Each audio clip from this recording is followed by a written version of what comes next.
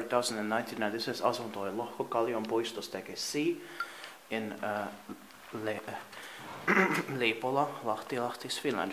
Amazing old Valmet-Schlieren, an elevator built in 1975, turning 45 years old in the next year, 2020, when it's going to be inspected. Four persons or 320 grams. That's right. Six. VS 4187.